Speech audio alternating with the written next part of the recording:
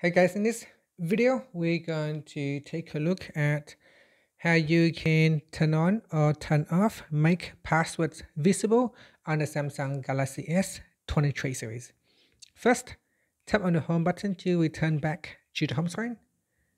And from the home screen, swipe down at the top, then tap on the settings icon.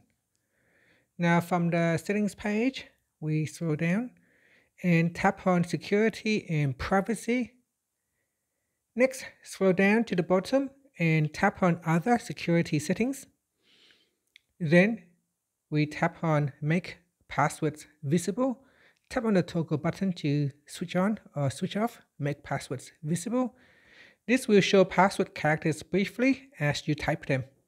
And that's it. So uh, that is switch on. Now finally you can tap on the home button to go back to the home screen. Okay, now I'm going to open up uh, an app and at the moment it is set to off.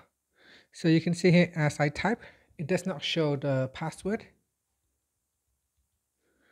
And here if I go back in here and choose make passwords visible if I switch it on and I switch back to Facebook in here as I type you should see the password uh, briefly show. Now at the moment it does not show. That means the settings has not been applied. Maybe I need to tap on the back key to go back to the previous screen.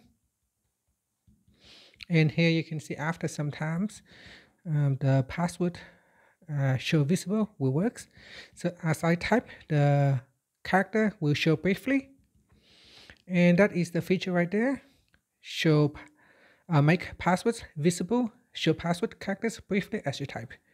And that's it. Finally, you can tap on the home button to go back to the home screen. Thank you for watching this video. Please subscribe to my channel for more videos.